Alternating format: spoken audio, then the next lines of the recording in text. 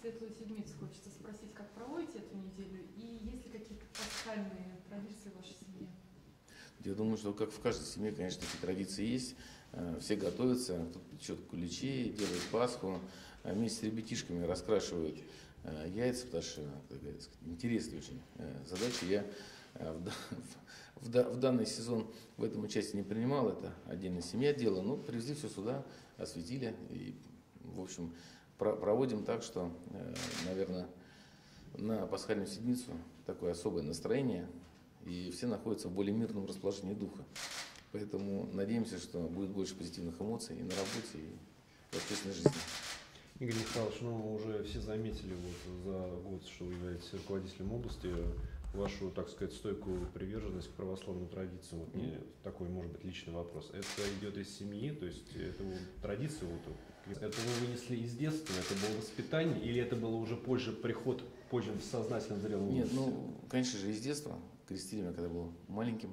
И потом в жизни это очень часто помогало, особенно когда там в армии служил. Ну, в любые, я думаю, переходные периоды жизни у любого человека это всегда хорошо. Поэтому Наверное, можно вспомнить слова Иоанна Златоустова, одного из творцов литургии, который сказал э, в назидании нашим будущим поколениям, такая гениальная фраза, он сказал, чтобы хорошо помолиться, надо хорошо испугаться.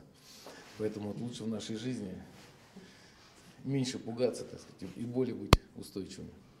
Мы тоже понимаем, что православные традиции, они могут дать, э, они связаны с культурной жизнью нашего общества, и они могут дать Э, такой стержень э, для того, чтобы личность человека при э, вхождении в активную жизнь, при том, когда будет много всяких соблазнов, выборов, чтобы человек мог примерно сверять свою жизнь с чем-то, с каким-то эталоном, да, которым, которым, собственно, является наша ну, так сказать, православие. При этом мы очень толерантные люди, все мы уважаем так сказать, другие веры, другие концессии. Мы сказать, считаем, что все люди, они хорошие, и все так сказать, религии тоже достаточно полезные для развития и личности, и общества.